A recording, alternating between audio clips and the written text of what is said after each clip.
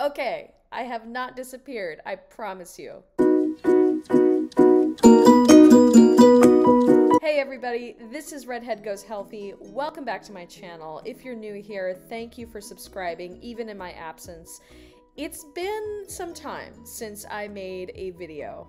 I just want to say that the main reason why I have not been making videos is because my life is incredibly busy right now. I am working a lot, more than I've ever worked before, and it's all really good work, but it's a lot. So I honestly have not been tracking what I've been doing. I have not been focused on making videos. I've not been focused on editing. I've just not been focused on the things that I thought that I could do uh, while starting a brand new job in a brand new state. That being said, I do want to give you guys a little bit of an update. Not a lot of an update, a little bit of an update. Like I said, I have not been tracking, I have not even been weighing myself. I have been trying to lead a balanced life, so I will go and exercise at least an hour a day.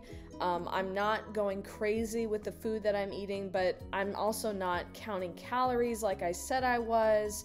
So, to be honest with you, another part of not wanting to upload a video was that I didn't really have anything to share with people. I don't have any major updates.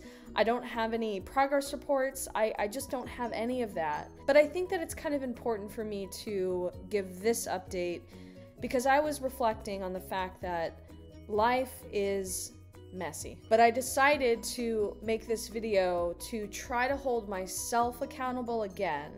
I want to be able to do this once a week because it will force me to be accountable during the week.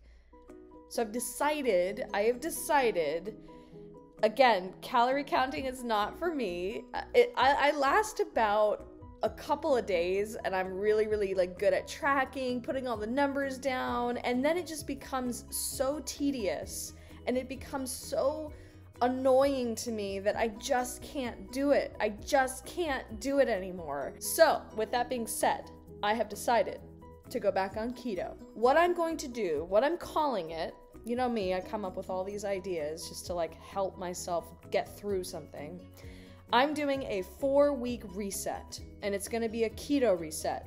This time, I'm going to count my net carbs. So, my goal each day is to hit between 20 and 30 net carbs. And I'm doing this for four weeks before the holidays kick in. I don't even know what Thanksgiving has in store this year, but um, I what I'm basically doing is keto up until Thanksgiving.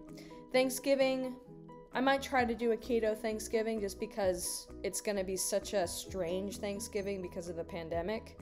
But I'm going to definitely do keto for four weeks. So, with that being said, what I'm planning to do is to do a progress report next week just to let you guys know how the first week went, uh, if I lost any weight.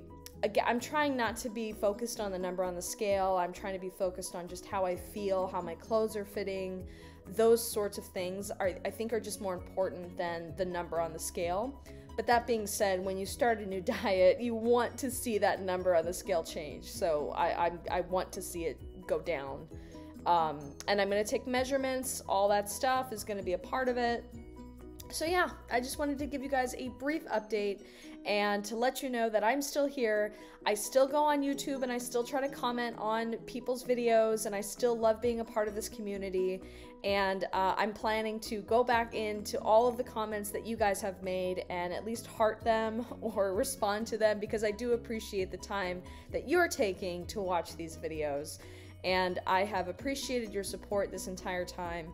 It's not over. Redhead is still getting healthy, and I'm hoping that 2020 ends well. All right, guys, thanks so much, and I will see you next week.